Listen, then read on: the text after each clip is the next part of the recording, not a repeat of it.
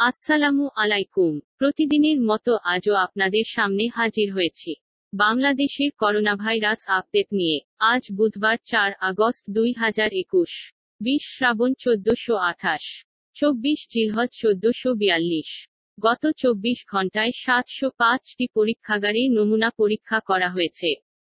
পরীক্ষা, গত চব্বিশ ঘন্টায় উনপঞ্চাশ হাজার পাঁচশো চোদ্দটি নমুনা পরীক্ষা করা হয়েছে।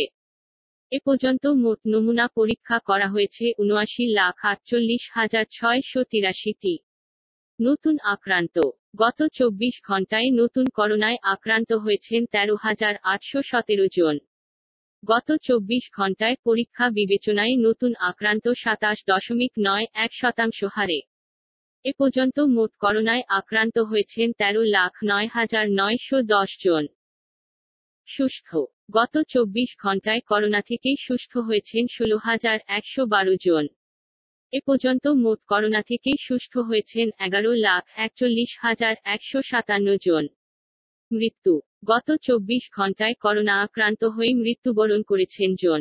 এ পর্যন্ত মোট করোনা আক্রান্ত হয়ে মৃত্যুবরণ করেছেন জন।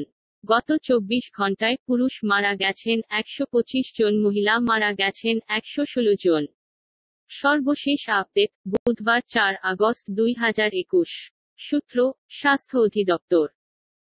সবার আগে সর্বশেষ করোনা আপডেট পেতে সাবস্ক্রাইব করুন এবং নোটিফিকেশন পেতে পাশে থাকা বেল বাটনটিতে ক্লিক করুন।